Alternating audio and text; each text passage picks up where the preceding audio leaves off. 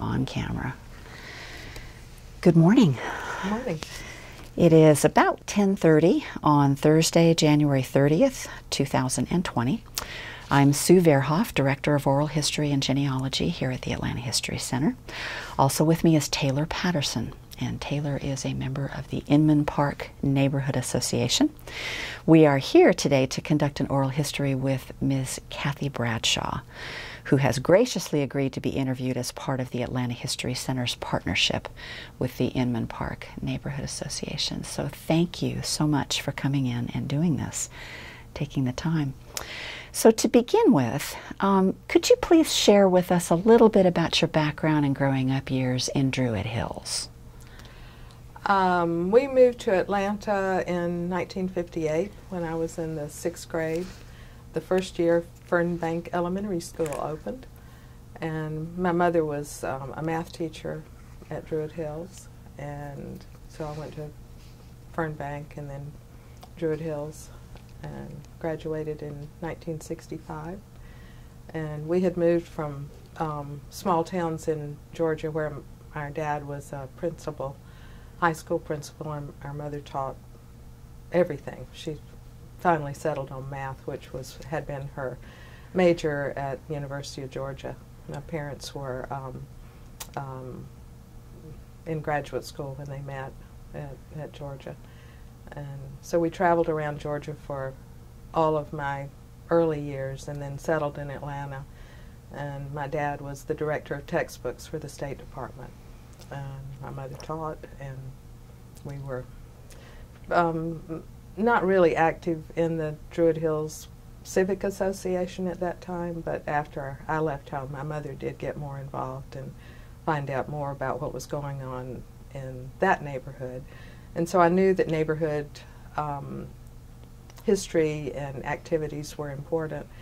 And I guess when I moved to Inman Park, that carried through, and I um, had no choice but to get involved. Excellent. We're going to take a quick break here. Back on camera. So, what I'd like to know is tell me a little bit about why you chose Brown University and why you chose urban studies as your major. What led you into that? I was at Salem College in undergraduate and all female college and majored in sociology. And when looking at graduate schools, I thought it would be good, an opportunity to get out of the South. And I applied to Brown and Johns Hopkins. And actually, my Dean of Women told me that I would never get into Brown, and so that gave me the motivation to um, show her that I could.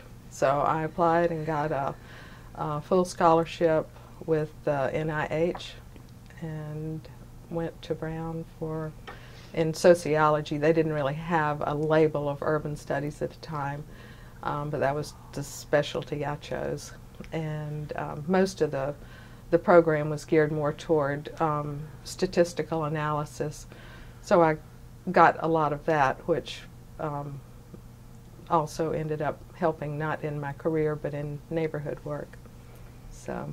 I was at Brown in um, from 69 till 71 and got very involved in the Vietnam War protest movement and became an activist at that point in time. And so Brown was a good um, breeding ground for my future activities in the neighborhood. Excellent, excellent. So you if I understand correctly, you bought your house in Inman Park in 1971 after graduating from Brown. Correct. There's some really interesting stories about your parents and how you chose and why you chose.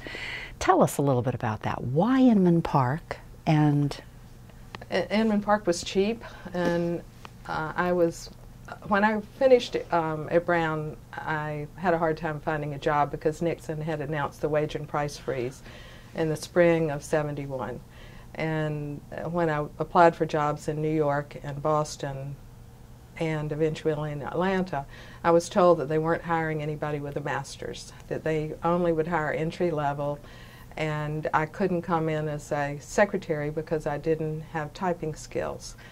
And my sister had advised me not to put that I was an excellent typer on my resume because then I would get hired as a secretary. So I couldn't then come back and say, but I can type. So I was forced to um, abandon my desire to stay in Boston or Providence or go to New York and um, ended up back in Atlanta. And good friends from college days um, were living in Ansley Park. I rented a house in Ansley Park with and had roommates. And my house was in Ansley was actually for sale for 85,000. But without a permanent job, it was certainly beyond my means to even think about buying a house. But my friends found a house in Inman Park and bought it for $5,000. It had no kitchen, no bathrooms. All the plaster in the walls was damaged. And somehow, by working on their house, they convinced me that I should buy a house. And it was very much at the beginning of the um, movement in Inman Park.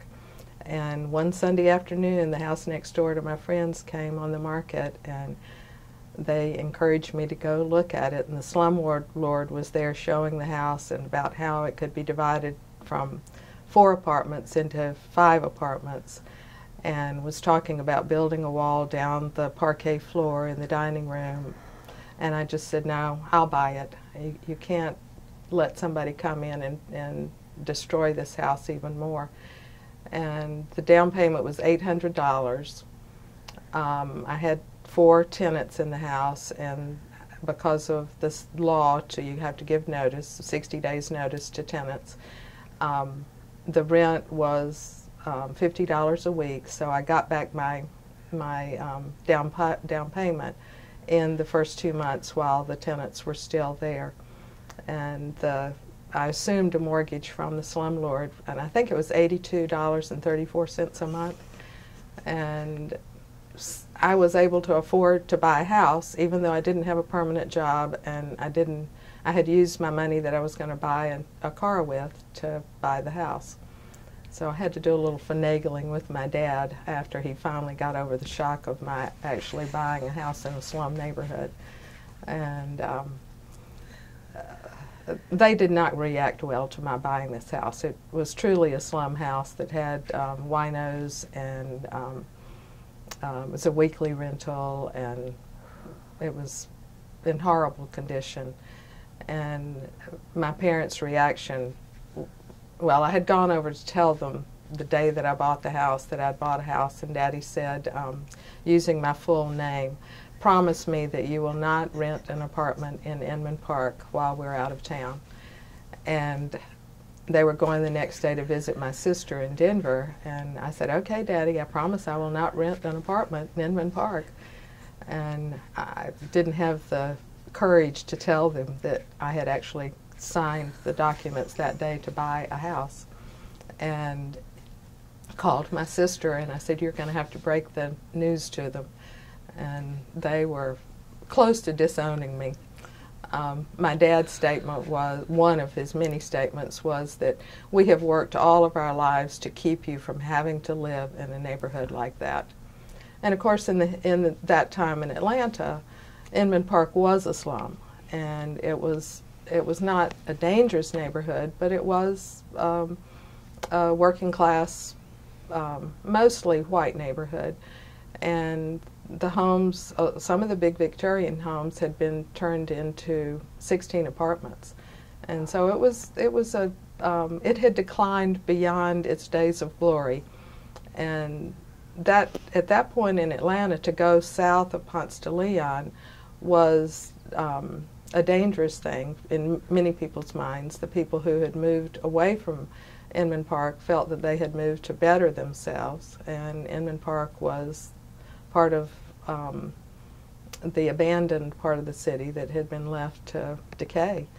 And so the homes were mostly, I'd, I'd say 60% were um, not owner occupied, so they, they were owned by absentee owners, slumlords basically. And um, the houses were not, ha not having any improvements made to them, so the damage that the tenants was doing was becoming more and more and um, So I ended up with a house that I had no idea what to do with.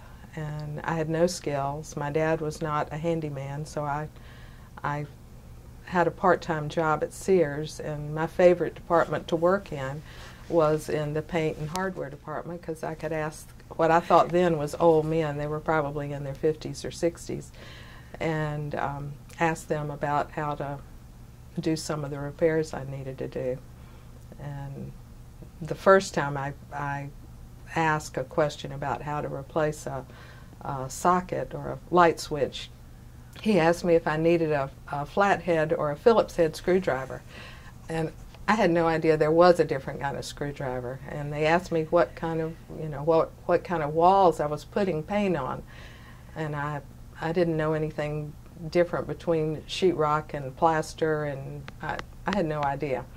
So the first paint job I did, I, I evidently put um, a water-based paint over enamel because I, the next day, I went in and the there were, the paint was peeling off, and you know, so we had a, I had a lot of trial and error um, opportunities during those early days of owning the house.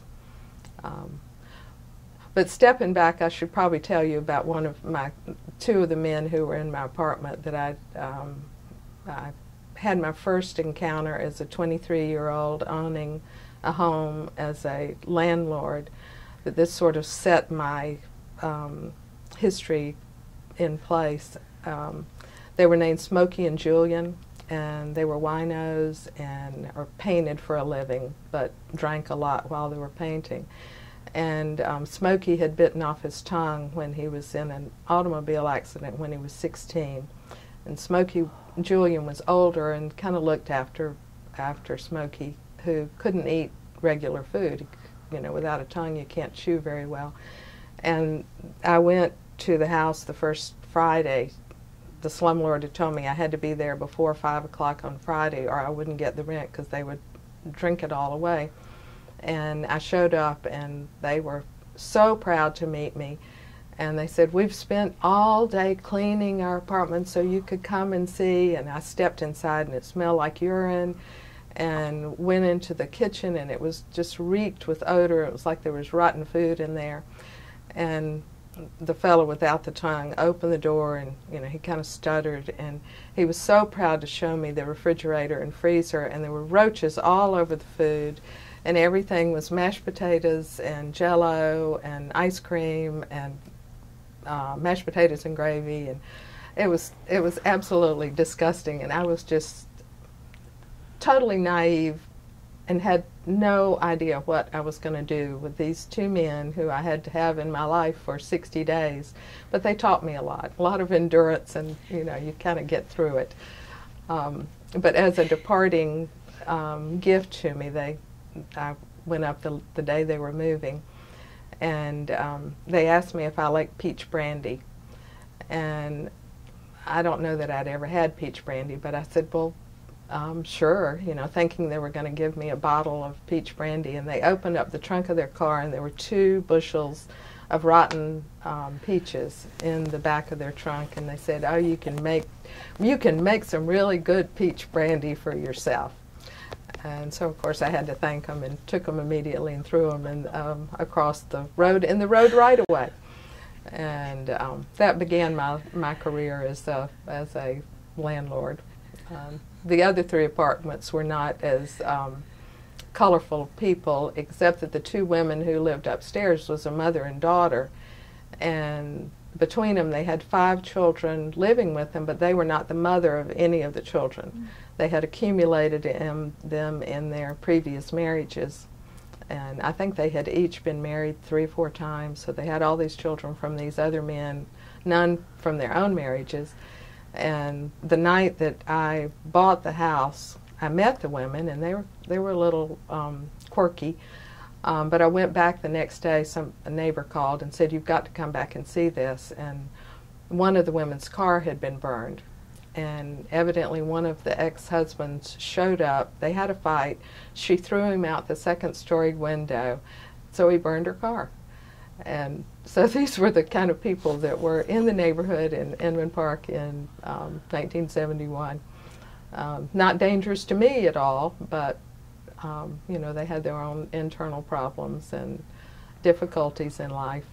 Uh, so I I took the house and um, with the help of my next door neighbors who had been longtime friends, began to get to know other people in the neighborhood. And because we were all struggling to buy our homes and try to find a place to live within them, we started sharing tools and um, would have Friday night get togethers and have potlucks. And um, about that time, I think there were maybe 13, 14, 15 people that were actively thinking about, you know, being involved in a neighborhood. Um, Robert Griggs, um, who was the our leader, um, and John Sweet were very instrumental in forming the neighborhood organization, which I started getting involved in that first summer. And the um, organization at that time was named Inman Park Restoration, and that was the name which was used through the years when we um, began the Inman Park Spring Festival and the tour of homes and um, applying for our um, uh, historic um, district um, gone blank the our National Trust designation and um, and then at some point I'm not sure exactly when but it changed to Inman Park Neighborhood Association because of um, I think because of the tax laws and the 501c3 and because we had been involved in political activities that we needed to make certain that we didn't get in trouble with IRS. And so we, we made a name change. Al Caproni can speak more to that one. But um, but the early the early days, the early, the first year of Inman Park was just a lot of getting to know the um, neighbors and finding out who had bought homes and we all had to rely on each other a lot for um, um, lifting and cleaning out. And um, my future husband bought the house across the street from me, and he knew a little bit about plumbing, and I knew a little bit by that time about patching plaster, and uh, so we we got more involved. And his brother lived around the corner, so. I knew his brother and his girlfriend and some of the neighbors that lived in, in on Elizabeth Street. And so we just all, you know, had a, had a small community, but a very dynamic community of people who, uh, I think when you're taking on a project like restoring a home, you have to get involved in other things as well. And um, one of the first things that we, we did was um, with Holly Mull, who worked for the city of Atlanta at the time, worked for the mayor, um, we realized that we, we needed to change the zoning and um, that the neighborhood through the in the 60s had been rezoned from residential to commercial and industrial. And if we were going to be able to preserve the homes, we needed to have it zoned residential. So we, we created um, a survey or a, a, petition, I guess, for people to sign that they would agree to have their home um, rezoned from commercial back to residential. And so that was the first political thing I was involved in with the neighborhood. Um, the first fun thing was the um, starting the first spring festival, which was in um, April of 1972. And I um, was in charge of refreshments. And since the city hadn't had any spring festivals before, we didn't know what to expect and whether anybody would show up. And we we were hoping maybe 300 people would come. And we had a, a flea market, and people set up a table and sold things. And we had um, a funky little parade with um, not very many people. It wasn't a very long parade but some dressed in Victorian garb, and um, we had the um, a, um, a fellow. Well, I, my brother-in-law, future brother-in-law, rode a unicycle, and we had a um, New Orleans band, and it was a very fun but low-key event. And we had had a tour of homes, um, a few of the homes close on on Edgewood, and um, we were expecting about 300 and about 3,000 showed up. And so we were a little overwhelmed, but but totally enthusiastic. And I borrowed a van, and um, another fellow and I went over to Arlen's, where the Home Depot on Ponce de Leon now is, and um, bought every soda that they had because what we had gotten from Coca-Cola had run out and no way to resupply that. So we bought all the water, sodas, soft drinks, whatever, and um, had enough. It was a hot, hot Sunday day, so we needed some refreshments. And um, the whole purpose of the festival was to try to influence um, politicians and bankers and insurance companies that we were a stable, growing neighborhood. At that point, we were redlined and we were not able to get homeowners insurance and we were not able to get mortgages. And um, it was even even a, um, a loan to make repairs was hard to get. And so we had had a, um, a candlelight tour for the politicians so that they couldn't see all the cracks in the plaster and all, and it was a little bit more appealing with candlelight. And um, had a box lunch, a box dinner under a tent on Euclid um, long before we closed off Euclid. This was just a, a small tent. And invited the the leaders of the city to come and, and see what was happening in Inman Park and ended up with a, a party at Robert Griggs and, and Robert Aiken's home on Euclid. And I, I assumed that it had some influence. It took me a long time to get a mortgage. Um, after um, after I met Bo and then we eventually married, um, we moved from my house to his house and the back porch of the house was falling off and we needed a loan to um, tear off the back of the house, expand, add a larger kitchen, family room. And um, I went to 13 banks to try to get a loan and they all said I needed to repair the um, back porch before they would give us a loan. And the whole point of the loan was to tear the porch off because it was not um, it, it, was not safe, and it made no sense to put money into repairing a damaged porch.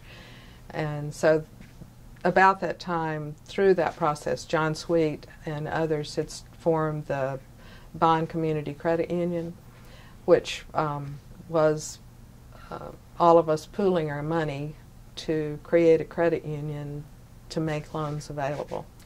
And it was the first um, community based credit union in the country. So it, it took a, a while for John to be able to convince the National Credit Union Association that it was a good idea and that it would be a, a viable um, enterprise. And it's still thriving today and has grown. And from 1972 to 2020, it's uh, um, still a um, a valuable asset in the community. And we were able to get a $30,000 loan from them to add on our kitchen and you know make all the repairs necessary. And then because we had a loan, then we were able to actually get a mortgage a few years later and um, um, start making the other repairs. My husband's house, Bo, had uh, bought his house from a woman who had lived in the neighborhood for a long time. So she was one of the elderly women, and she lived in the house with her her brother. And they, in World War II, had had um, uh, had rented out a room to a woman, so that the house had never really been divided into apartments. Um, but our the what is now our office was a bedroom, and then what is now our bedroom was a kitchen. So the house had two kitchens, but the um, Ruth McMillan and her brother and this woman who was their renter shared one bathroom, and um, the dining room was a bedroom. So the house had been reconfigured, but walls hadn't been removed, and um, there wasn't a separate entrance added. So it had not been destroyed. So that house was a lot more manageable than my house, which needed a lot of everything plus more. Um, so I sold my house in 78 um, to Sally Dorn and Bill Ferguson, and I hope you'll interview Sally Dorn at some point. And um, so we moved into into Bo's house, and that's where we live now. And I think he paid fourteen thousand dollars for his house in 1972, and was moving to Atlanta from Augusta, where he was in the army. But since his brother was in Inman Park, he he moved to Inman Park, and um, um, so that was the early days. And I guess Bo came in right before Spring Festival that first year in '72. Yeah. Well, let me take you back just a little bit. I have a couple questions to ask Okay. you about those those early days. Um, you mentioned that that the, your tenants, when you first bought the house, had 60 days, correct, to Right. get. Did you get any pushback from any of them? Were any of them upset about having to leave? Um, no, uh, uh, weekly renters were um, they they weren't long term renters. I don't think the women upstairs had been there but a few months, and uh, no, the man who lived in the downstairs apartment um, was a traveling mechanic, uh, equipment repair. I'm not sure exactly, but he was he was often um, transitory, and I think that was the um, situation of the neighborhood. No, there was no no pushback. Were the apartments furnished? No, Okay. Okay. I don't think so.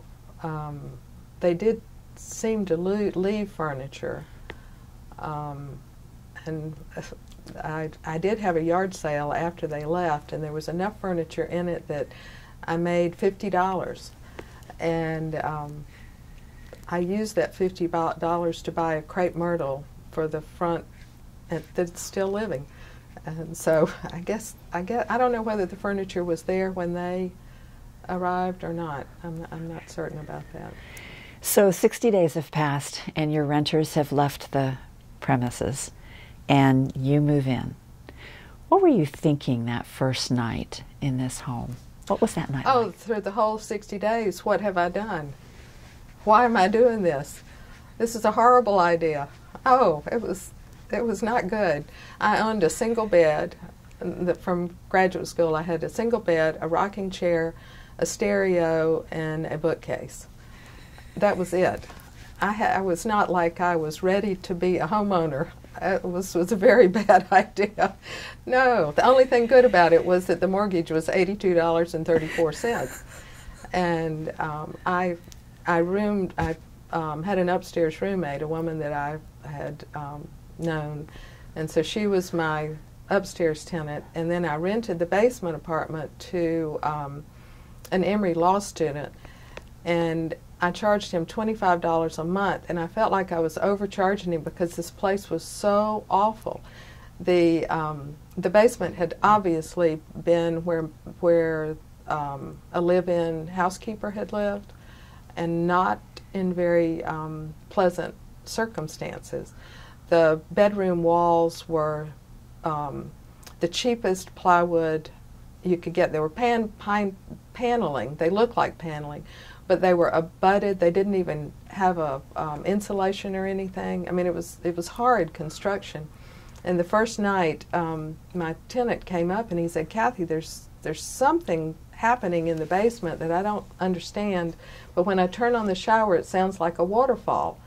So I got my flashlight and we and I got my next door neighbor, and we went down and looked under the house, and the shower was held up, attached to the to the house by two walls, but held up by a two by four on the corner, and there was no plumbing. The water was coming in, but there was no drain, so the water was just draining straight to the basement, and it was like another. I mean, that was the first week, and I, I knew nothing about plumbing. What and what am I going to do? So it it was a series of that kind of events when I when I first bought this, um, what felt like a monstrosity, and um, you know it was only because there were other people in the neighborhood going through similar things, and there were a few couples who had been there uh, um, a year maybe. Um, Robert Griggs and Robert Aiken had been there since 70, so they already had um, a little bit more experience of how to deal with these problems. and I think the that house was 14 apartments. Every room was an apartment, so they had a lot of stories. And um, um, Charles Helms and Helen Helms lived in a um, a big house that had had a lot of apartments, and so by hearing their stories, it gave me a lot more courage to move forward and to tackle stuff. Um, uh, Bonnie and Jeff Dees lived on Edgewood Avenue in a huge house, and they were in the process of renovating. They obviously were not complete, but they agreed to be on tour of homes.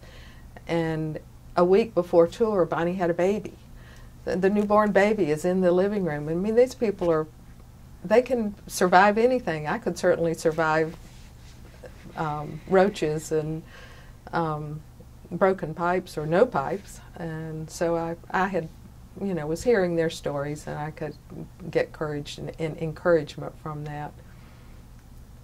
Um, my other big um, shock was the first winter I bought the house in June, and the first winter, I had no idea about insulation or you know how to that you should open the valves of your faucet when it freezes.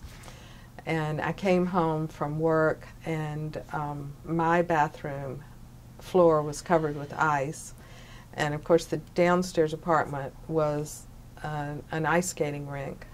All of the water from my bathroom had flowed down and then frozen, and my tenant had left for school, and he didn't tend, he was not at all a tidy um, student tenant. And his clothes were in piles of dirty, dirtier, or dirtiest, and it was mainly just Oxford cloth shirts that he wore to law school. But they were in this frozen pile of water. They were frozen and um, he was too nervous about the condition of the department to leave the heat on during the day, which was probably a good thing because you know everything else was so um, put together so badly. It probably would have burned the place down. But I had all this ice and um, shirts, and his living room was covered with um, saltine cracker boxes and peanut butter, peanut butter that he that tended to be his his meals through law school. And um, I, I, you know, it was just rather overwhelming of how do you deal with frozen water, pipe, broken pipes, no plumbing, and fortunately our upstairs tenant had a bathroom that we could use, but you know, there were just innumerable experiences like that that I kept saying, what have I done? Why am I doing this? So what made you stay?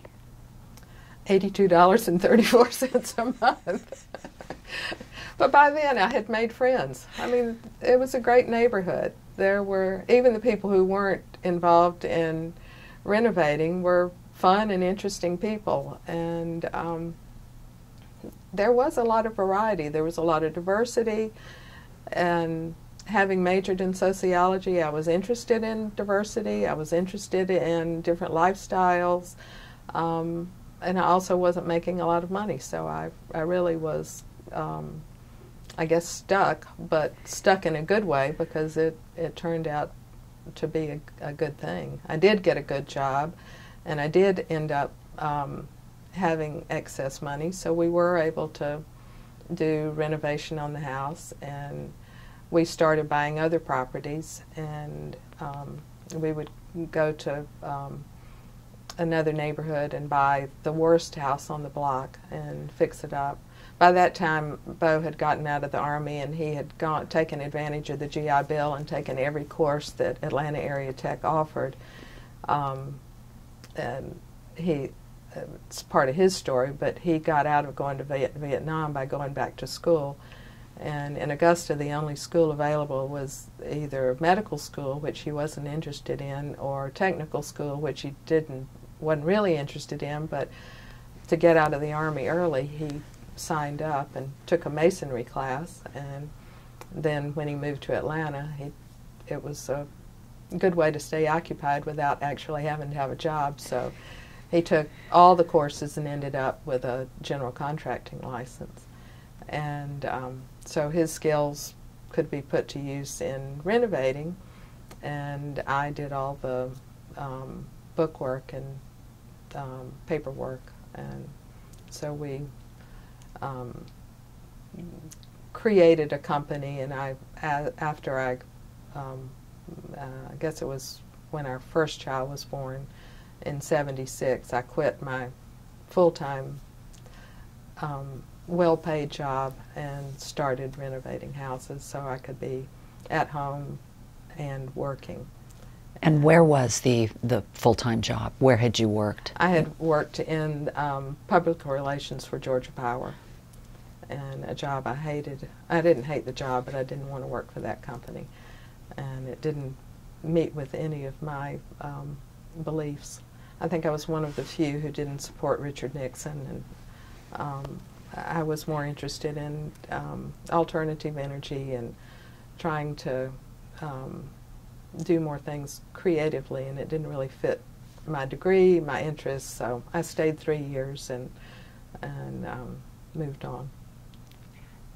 Tell us a little bit about raising children in Inman Park. What was that experience like? Um, I don't. I, since I've never raised children in another neighborhood, I don't have a lot to compare it with. But we um, we had great neighbors, and uh, Jane was the first of the children in our circle of friends, and so she was almost like an experiment. I hate to say that on camera, but um, we were all learning about how you raise a child, and um, Jane was an independent, interesting um, child, and so she had a lot of adult friends, and it. She went with me where I went. She went to meetings. She, um, we didn't have enough money to really hire babysitters, so she had no choice. And she spent time when we were doing um, construction, and you know, we just hauled her everywhere. And we thought that was what you did. Um, the stabilizing factor was that my parents were still in Druid Hills and she was with them a lot. And so Bo and I had a lot of freedom because my parents were willing and um, happy to have Jane part of their life. And um, I don't think I could have done any of this without the support team that I had of my parents. And um, I need to swallow. Can I sure. take a break? Absolutely off camera, on camera. Um, and one of the other things that was helpful in the neighborhood, Sally Dorn's name comes up again, was um, uh, she created a, a babysitting co-op. And so we had chits of paper and could um, have a neighbor take care of our child and exchange for the chits no, no money. And so we got to know other parents in the neighborhood and parents that were um, had same age child, and so that strengthened our um, um, associations in the neighborhood by having the babysitting co-op. And then the second child came along. It was a little bit more difficult to do the the swapping, but by then we had established good friendships with um, parents, with couples in the neighborhood who had children our children's ages. And because of the spring festivals, the numbers of people in the neighborhood was increasing. And we um, could see that the numbers were going to grow and that the population was going to continue to change um, to bring in a, a much younger um, group of people and who were interested in, you know, similar activities, not necessarily having children, but of those who did have kids, um, that we had had a lot in common. Um, culturally, I guess, not necessarily professionally. We had a, a diverse group of um, people in terms of their career choices, but all had the common interest of the neighborhood. And um, when, um, so the babysitting co op was very important. And I think when Jane was six weeks old, um, Bo and I joined a group of neighbors in um, what we call the Gourmet Club. And the other couples had already started this maybe a year before, so we were um, new to the group. And um, so we, I think it started in 1973 or four, and Jane was born in '76, and and that group is still going, and so we still get together once a month and have a um, uh, dinner together. The host couple prepares the menu, and then gives out assignments. And at first, it was all international, and so we ran through all of the the countries of having international meals once a month, and um, it meant that because most of us had very awful or meager kitchens at the time, it meant we could prepare one dish, go to somebody's house, and have a full, nice meal without having to go out and pay for a, a gourmet meal. And um, we were all very forgiving of each other's um, homes, and some were putting in kitchens. We were we started putting in our kitchen in I think '79, and so by the time you know the the club kept going, we had had um, better environment to cook and eat in. Um, but that was a good stabilizing force also to have friends that um, we were with every month. And then Bo and I were very fortunate that we lived on, um, backed up to what we call the Hollow. And it's three acres of open land.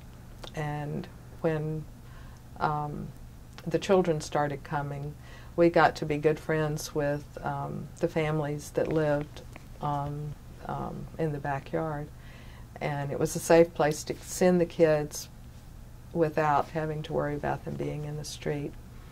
And um, he mentioned that Taylor is with us today, and Taylor was one of those children that grew up in the backyard. And um, so you could always count on kids being in the back and the adults, um, the parents, to spend time with. And so we all got to be very close and have, in some instances have traveled together. And we still get together every year for um, a new year a christmas brunch with the same families and grown children and now grandchildren. And so the early days of inman park really formed a lot of um, relationships that have endured to now and, and also for our for our children to maintain the friendships of the kids they grew up with. I'm struck by the fact that both of your children have bought homes in Inman Park. I think that's very unique. And I have no idea how that happened. I would never have predicted it because they're both very independent, and um, I would have assumed that they um, would have gone somewhere else. But they love the neighborhood as much as we do and my daughter has now has one child, and my son has two children, and they all went to the Inman Park Cooperative. Ten of them, two of them, still there, and the co-op, the Inman Park Co-op, is another um, one of our early activities. That um, Jane had been in the Mother's Morning program at the Inman Park United Methodist Church the same church where Bo and I were married, actually. And so, 73, we were married at the church, walked to the church to get married. And then in 76, Jane started going to the Mother's Morning Out program. Um, but for various reasons, by 1980, um, we needed a, a new facility, a new organization, and some of the uh, well, I guess all of the parents that were involved in the um, the uh, preschool or the Mother's Morning Out program um, started a, the Inman Park Cooperative Preschool. So it was in the summer of 1981, and um, we took the basement of an old church, and in about four weeks, painted, cleaned, got it, the rooms organized and started a preschool. And none of us had ever done anything like that before, but we had a need, and um, we wanted the um, the structure to be um, not a babysitting, um, not a mother's morning out kind of program, but a more educational, more uh, learning opportunity for the kids, and so teachers were hired, structure was set up, all of the parents being cooperative, all the parents had to work. I was the treasurer, and while Ward was there, I certainly worked more hours in my volunteer job than I did having him in school, which I think that any of the parents who were involved at the preschool um, in those early days would say was certainly the case that we um, we worked more in our parent role than our children um, took advantage of the school hours. But once again, it was a very um, stabilizing um, activity and formed long-time friendships through the through the preschool. So and gave our kids a good good start, and I think that that was one of the things that was so valuable to my children was starting at the at the preschool. So I'm hearing kind of a recurring theme here, and that is you saw a need and you met it. Right. And that seems to be um, sort of a, a, hallmark of Inman Park. Right. Um, I do want to make sure that we talk a little bit about your activism. Um, I'm fascinated by the fact that you were involved in uh, the anti-war movement up in at Brown, and thinking about the connections between that and the things that you participated in to protect and preserve Inman Park. Right. So tell us a little bit about some of those things. Um, I think I mentioned the rezoning, and um, like I said, I didn't ever actually have a job using my degree, but I always found things in the neighborhood that needed to be done that would use things that I had been interested in in college and graduate school. The rezoning was one. Um, um, I guess another early one was during the Inman Park Festival. We needed to um, spruce up the neighborhood a little bit, so a group of us started um, uh, cleanups and got the city to finally agree to come and actually um, haul our building debris away and um, as part of that, we, you know, we we tended to like to turn things into fun. They were work, but fun. We had a goal, but we needed to do it in a fun way. So as part of the cleanup, we had um, a competition to see who could create the most interesting, um, uh, what do you call them, scenes in front of their homes with their trash. And you know we were still pulling junk out of the basements and fans and heaters and rugs and so we had people would put out a room basically you know they'd roll out the rotten um, oriental rug and um, hang up the um, what looked like a rusted light fixture but it was actually brass and maybe a bed maybe a sofa chairs, whatever. Some of them broken, some of them okay. And then we would go around and judge the best um, room as part of the cleanup. And, and of course, we all went shopping and you know because they were throwing it away and that's gosh that's an oriental rug we can take that to Sharian's and have it cleaned and it's better than no rug on the floor at all and um, boy that's a, a brass light fixture that matches my home. I mean, I need that. That's a bungalow style and our craftsman style. And um, so we found treasures in other people's junk, but it also made for a fun way to start um, Spring Festival. So that was one of the fun things that we did. And um, in order to entice the city employees to come and clean up on Saturday, um, we got McDonald's and Burger King, I don't remember who else, to donate food. So we and we had um, drinks and refreshments and um, dessert and stuff, and a band. And so we got the city work crews to come on a Saturday to do the cleanup, and then we had a neighborhood party, and you know all those guys participated and had a great time. And, and the end result was that we got the neighborhood cleaned up. And for many years we had the neighborhood cleanup. I don't think we're doing it now because people have, um, we're a lot more um, clean and tidy, though there's always, we have a committee that does it now, um, but not as wide scale neighborhood activity. Um, my activism. I was on the zoning review board for two years for the city and um, learned a lot through that process of what what the city's approach to rezoning is, and some that I had some influence over, and some that none at all. but through that time, I also realized the value of community involvement. And um, I was on the board of the credit union for a number of years and um, on the preschool board, and then served on the neighborhood board um, as uh, historic preservation vice president and got the ball rolling and started our, our designation for um, the National Trust. And others finished that after I rolled off. And um, I think I was um, vice president of, of um, well, of, uh, I was treasurer for, for a couple of terms. And then vice president of one more, I can't remember what it was, but somewhere in there. But just to be active on the board and to be active in things that came up. And, and I think that was a lot of what made the neighborhood so successful was that when we saw a problem, we did say, okay, we can do something about it. And it is bothersome now when I hear people or I see on next door or on chat lines or whatever is people see a problem but they want to know who to call and who can fix this. And um, in my years of being on committees, um, when somebody would complain about something or tell me that I ought to do something about this, my reaction was, well, great, I'm glad you're willing to volunteer to take that on. Because it's easy for people to expect somebody else to do the work. And I think the adage is true that 80% of the work is done by 20% of the people.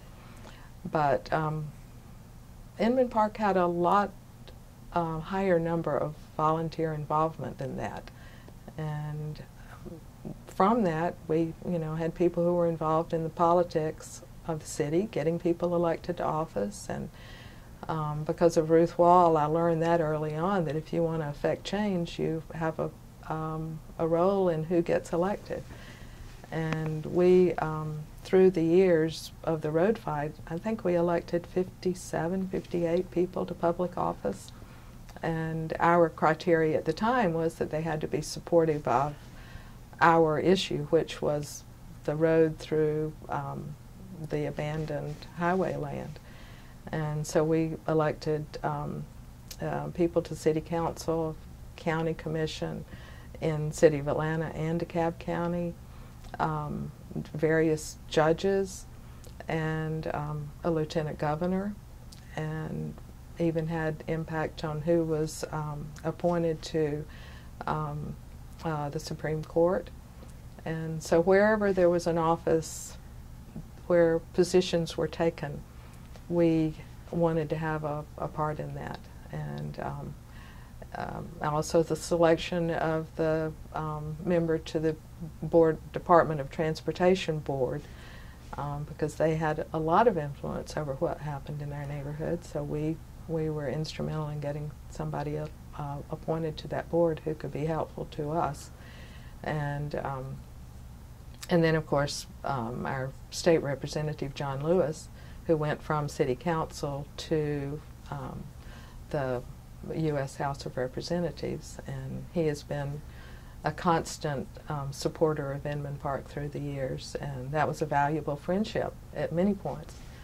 And um, so we've, you know, the political involvement was social because we had wonderful parties and we um, used it as a time to get together, but it was also important for electing a people to office.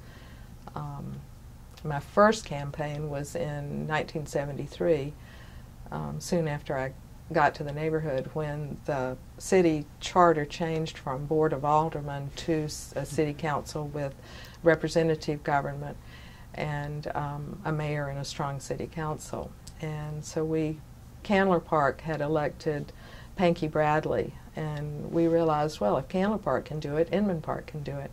So we got Charles Helms, who was uh, a local, um, lived, lived on Euclid Avenue, and he was a Presbyterian minister with impeccable credentials. And um, we didn't know a lot about skeletons and, and um, past of, you know, how much the press would delve into the past, but we knew that Charles didn't have any any skeletons in his closet. So he was a, a good candidate. And um, um, I was one of the co-chairs on that campaign to elect him to city council.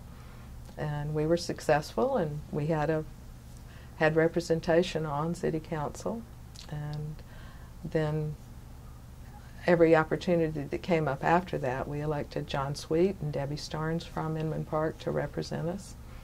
And um, we don't have a representative from our neighborhood at the moment, but that doesn't mean we won't in the future.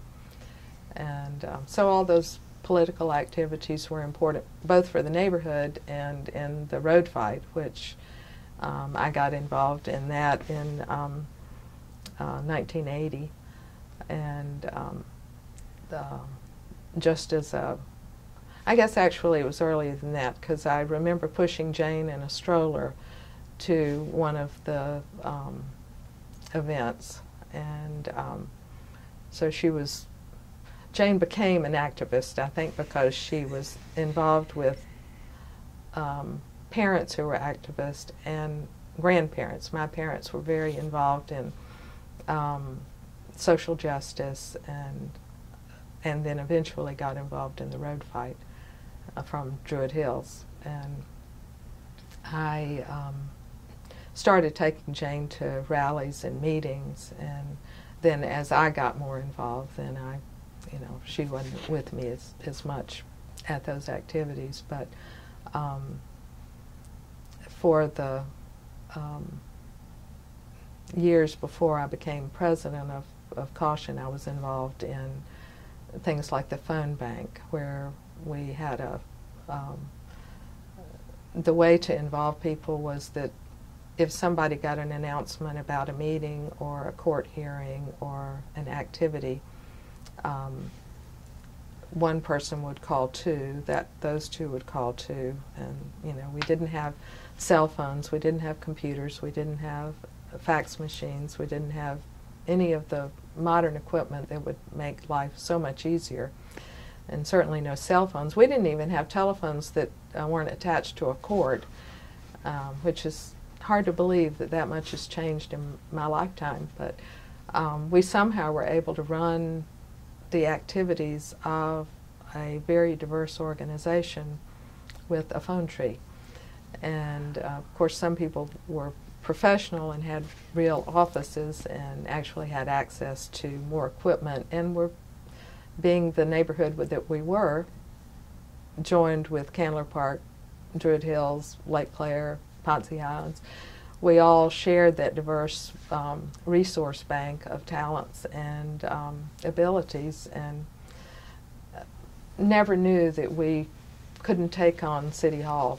Um, in that instance, we were taking on an ex-governor, um, Mayor Andy Young, who was a, um, a former Jimmy, Jimmy Carter um, appointee and all of the press and the business community. And we, we never, never knew that we couldn't carry on a fight because we knew that we were right. We knew that putting in a 12 lane expressway through our neighborhoods was a bad idea.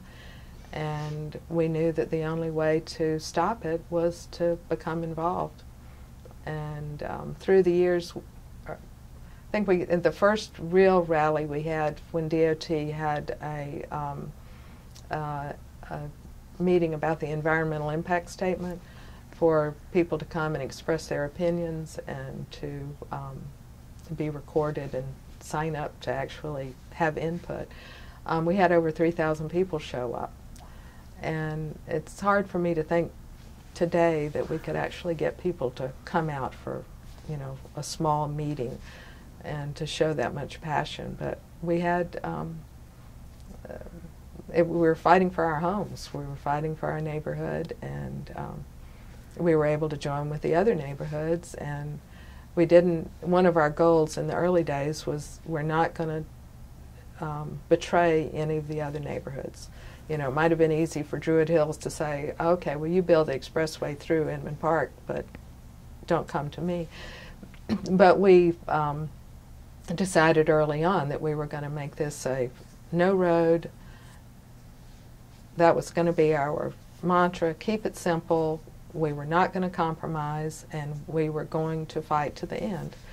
And it took 10 years, and it took, I haven't added up the number of lawsuits I've asked for um, to do that. But we had we had lawsuits at the city, the county, the um, Superior Court, State Court, even went to the Supreme Court of Georgia, and you know the the lawsuits were anytime a lawsuit could be filed, we found a reason to file it, and we would raise the money to make it happen. We had a team of volunteer lawyers that worked diligently in addition to their own jobs. They worked many hours as volunteers, and we had a lot of volunteers just helping them do research, doing whatever was needed to make it happen.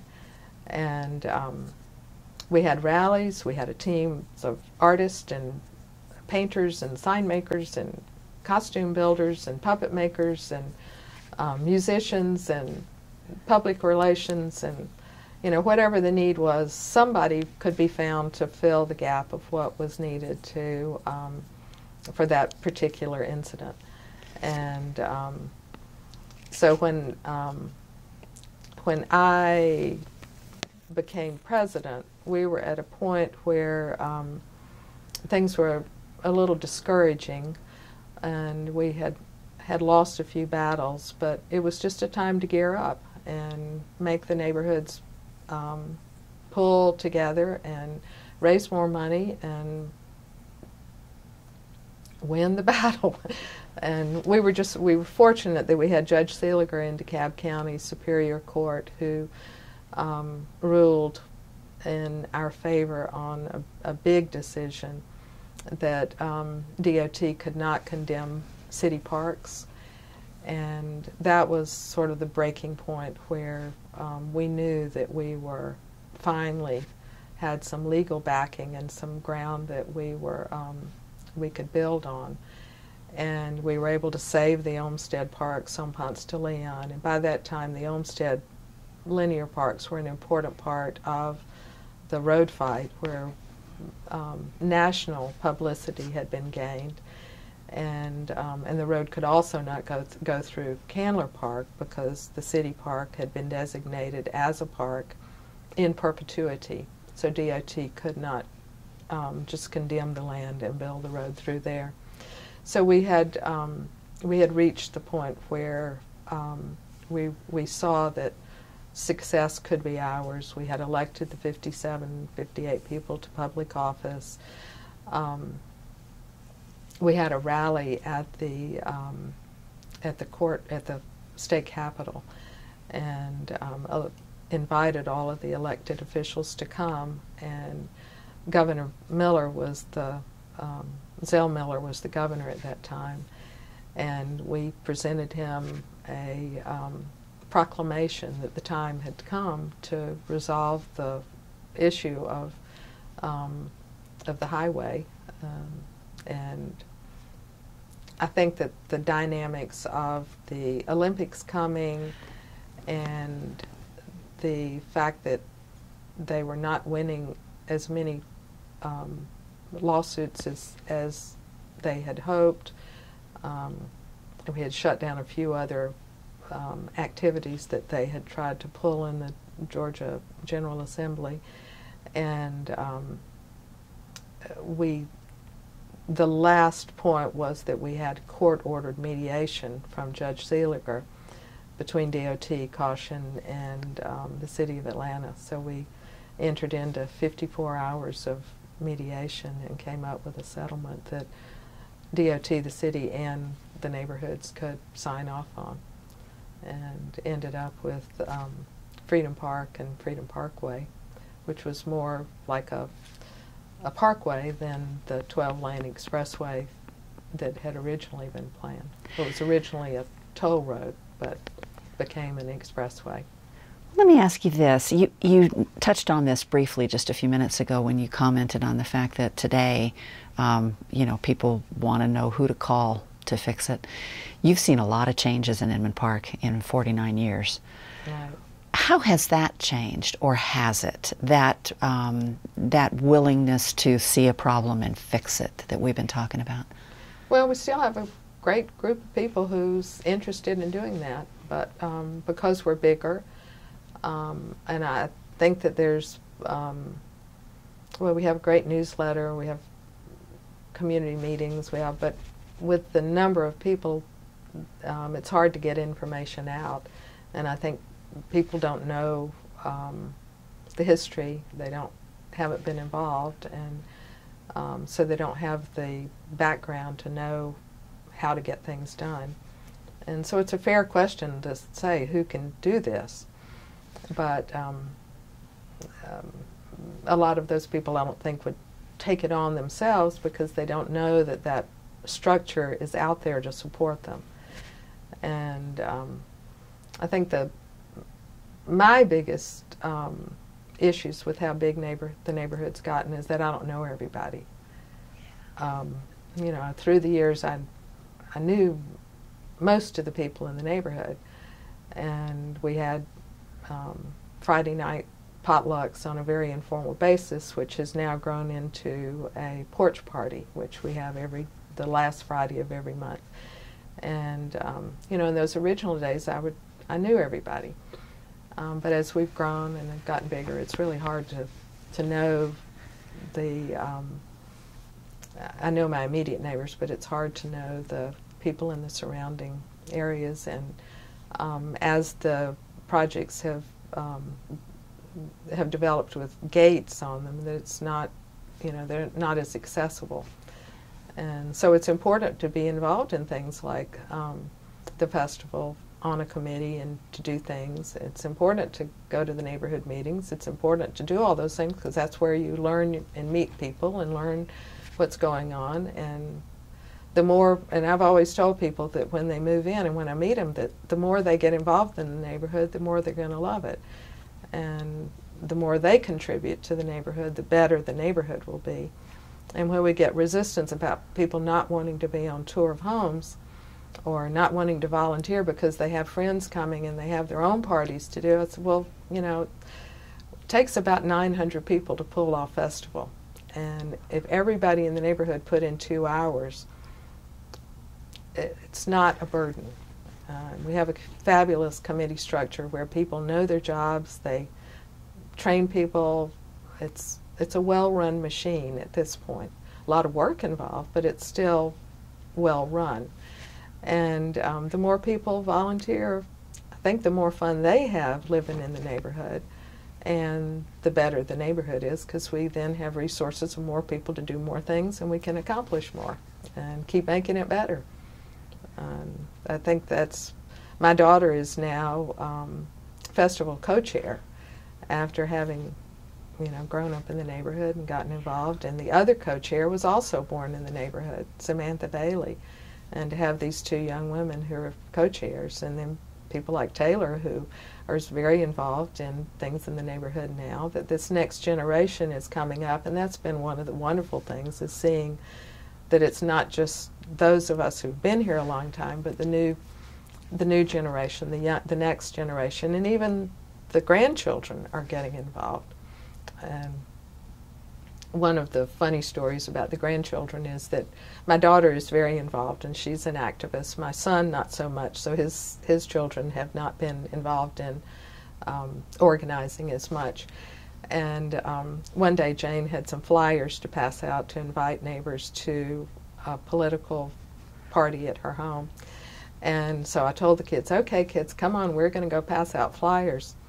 And my four year old grandson went to my dining room table, picked up my vase of flowers, and he said, Do I get to take these to Zuria? and there's a little girl who lives next door to me. And the Jane's son, who was a little over two at the time, he went and grabbed the flyers. He knew the difference between flyers and flowers. So the kids are getting involved, but in their own way. If you had to choose um, sort of an overarching singular accomplishment um, that you have done in your in all of your associations with Inman Park, what would kind of be the, the standout? Um, seeing the road fight through through the through mediation, and um, going to more meetings than I could possibly count. Um, but the reward was there that in the end we prevailed, and um, it I think it has had a long-lasting impact on the neighborhood that um, that the effort was worth it. And I think my children probably suffered a lot through that time, and they, they didn't have um, as much attention as I could have devoted to them.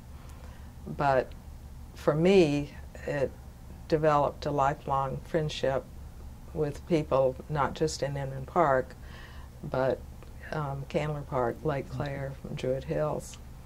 And um, it was, yeah, I think that was the, the biggest, that I gained as much from it as I gave back to the neighborhood. Well, I would argue that your example that you have set for your children is priceless, and they can't get that any other way. So I'm to learn the difference between flowers so and flowers. no, I love that. Just take a quick look here. I think that we have covered most. I didn't give the background of how I got into the road fight and what all that meant. I kind of assumed that people knew what the road fight well, was. Well, tell us about it. Tell maybe I should it. just clarify that a little bit. I realized I jumped to mediation. Um, but in the, um, the 1960s, the Georgia Department of Transportation had planned on building a, an expressway from Atlanta to Athens called the Stone Mountain Freeway. And when I was growing up in Druid Hills, um, my junior year in high school, my parents received a letter from DOT that um, there would be this road going down Ponce de Leon, and that um, their house would be affected in that a 12 link chain, 12 foot high chain link fence would be outside um, our bedroom windows, and that the first two houses on the street would be um, torn down to make room for an access road on the south side of the freeway. And at that point in time, I think it was 1964, my parents had no idea that you could fight um, DOT. And so they, they didn't do anything about it, as far as I know. I went off to college and came back, and um, Jimmy Carter had been elected president, and you know, after his term was up, he came back to Atlanta, and the road that had been um, designated for the freeway was now abandoned. Ironically, Carter was the one who stopped the freeway in, I think, uh, 72 maybe, when he was governor. And um, it was before then. When he was governor, a Blue Ribbon Commission had recommended against the freeway and all that.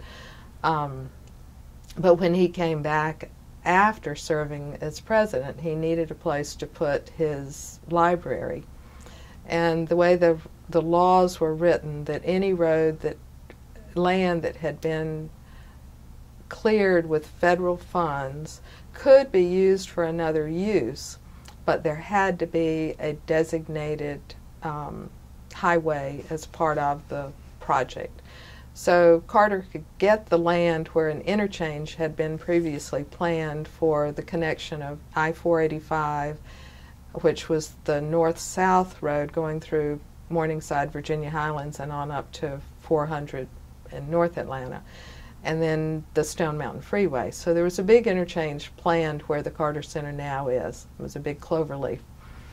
And um, as long as he had a road component, he could put his library and the Carter Center on that land and pay a small sum for the Carter Center part of it.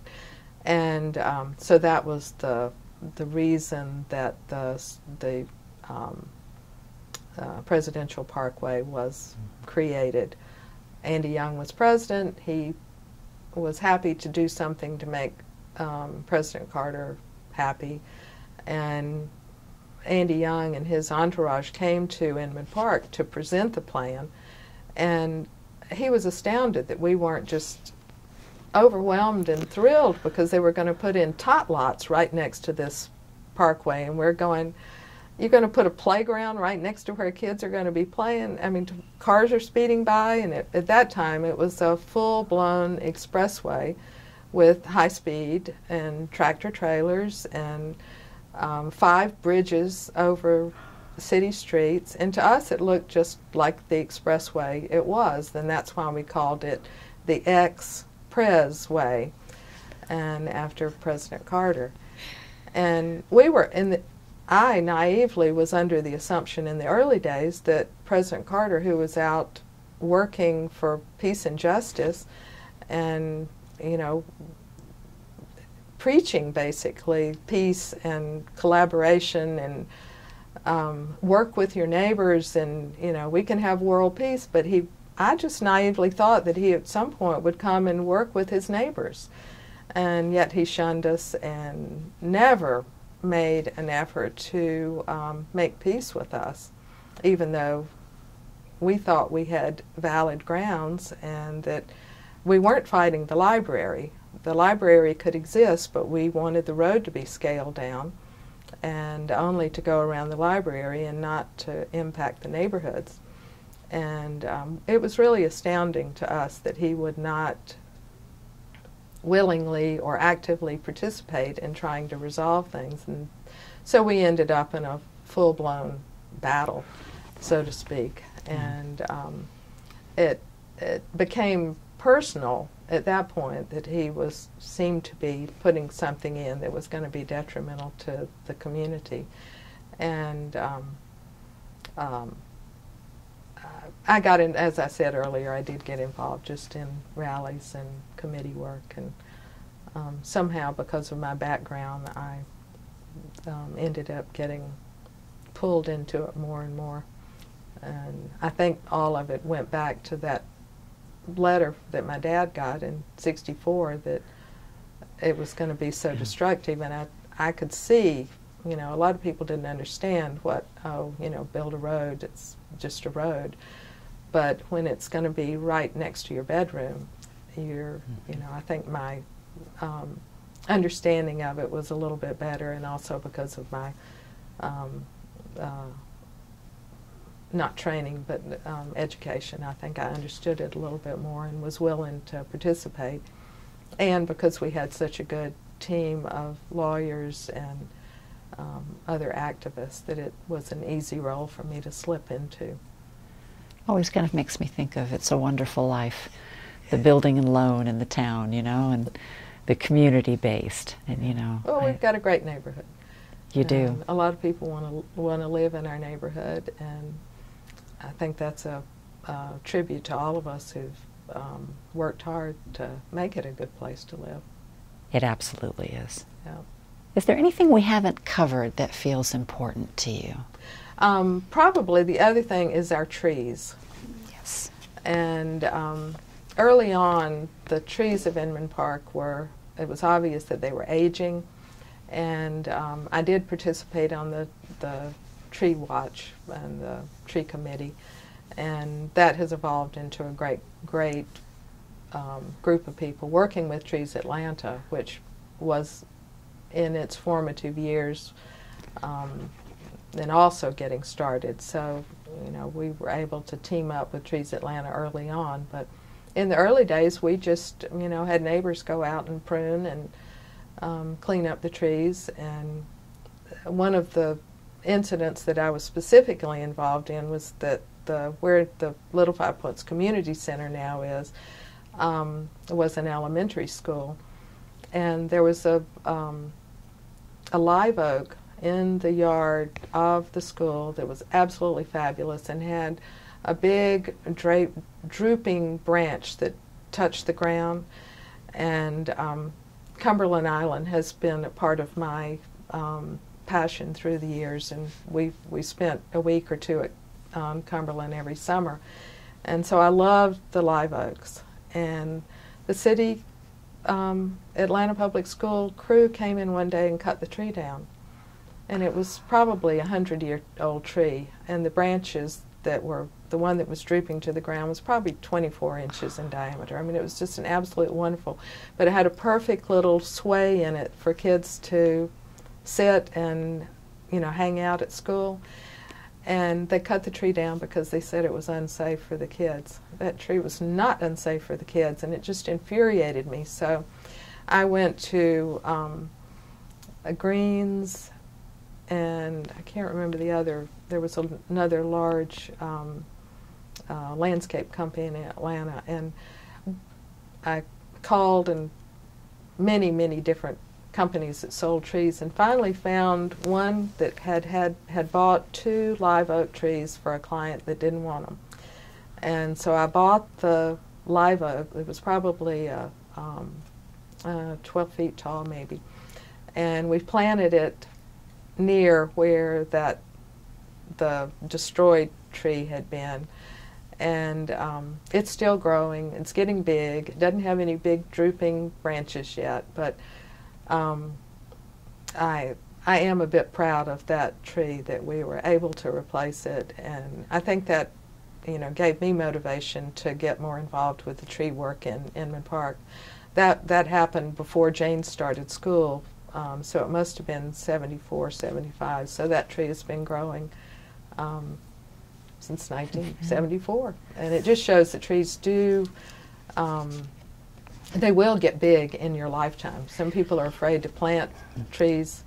Um, like Taylor's parents planted a white oak, and they were advised not to because it would be so slow growing. And that tree is just fabulous now. It is just wonderful. My next door neighbor also planted a white oak, and um, well, we planted one in her her memory, her mm-hmm. honor. And that tree is is it's huge and so they may be slow growing, but I'd hate to see what how big it would be if they if it were a fast growing tree, because the one in your yard is just fabulous.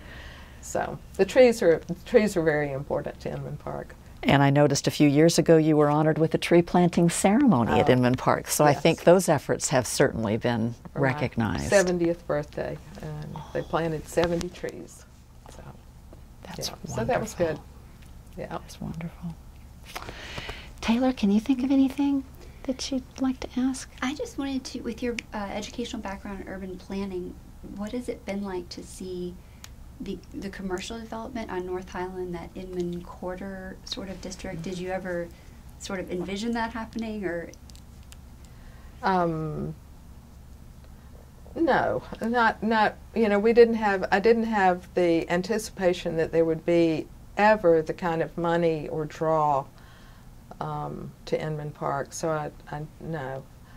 Um, I, I of course looked at that the old industrial yard more from um, the point of renovating it and um, doing um, um, a creative adaptive reuse. Like Bo and I bought the building that the Highland Bakery is in and have turned it into, well, originally to artist studios and to put a bakery back in it, which the building had originally been built for in the 30s.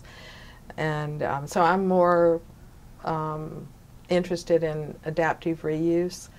And so the new structures are a stretch for me. I do understand and I appreciate the fact that in order to have the wonderful restaurants and shops that we have, you have to have density.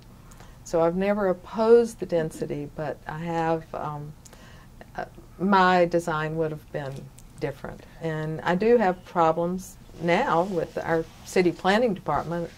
We've never really had much planning from the city. We used to have a wonderful planning staff on the city, but um, through the years it seems that developers do more of have more influence over what the plan planning mm-hmm. is and um, we have a current situation where using a two-way street, putting in two new buildings with a lot of um, employees and visitors and no plans for rapid transit, no bus stop, no yeah. pullover for Uber or deliveries, no handicap parking. And so I have a, from my planning perspective, I have real issues with that.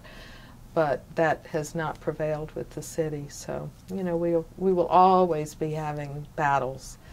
And um, some we lose, some we win, and you know we just keep persevering. But it has changed the dynamic of the neighborhood. But um, I, you know, I, most of it is, most of it is good. Some of it I'm not so happy, happy about, but you know I think that's part of the dynamic of a growing city. The Beltline is wonderful, and that's yeah. been great, but um, that again never anticipated the amount of influence it would have over development and that the um, focus has been on much larger development with a lot, not many controls that I think has been um, to its detriment. And um, I, I would like to have seen more diverse housing um, put Mhm. along the Beltline. And maybe that will come in the future. But Well, this has just been a delight and a pleasure. I can't tell you how much I've learned. I'm so impressed with all that you've done. Um, I think to a large degree, Inman Park owes its survival to your efforts. Inman Park wouldn't be Inman Park had it not been for the successes that you had with Caution and um, with the, the activism that you have promoted and sponsored and fostered. Well, and you have to remember that this was a group of people, Of course. and I was one of a group. And um, you know, we've I've seen some obituaries written by people who were involved in the road fight, and they say that they won, you know, saved. The, and I go, whoa, there were three thousand of us. You know, there were four thousand of us. There were a lot of us out there. And, um, and I, I stress that, that it was only because of the diversity of the in-town neighborhoods and the willingness of a lot of people. And I just latched on and, and rolled with it. And, but there are many, many names that come up that need recognition during the whole, all of Inman Park's history. And, uh, and I think that's important to remember that it, Oh. it took a group. Absolutely, absolutely. But thank you for all of your efforts, your efforts to organize, and the unique personality that you have that has drawn people to the effort. Well, thank So, you. It's thank been you. fun. Like I said, we like to turn things into into fun as well as work. So, and That's always important. Well, thank you so much for coming today. We appreciate Thanks. it. Thanks. Oh, Cathy.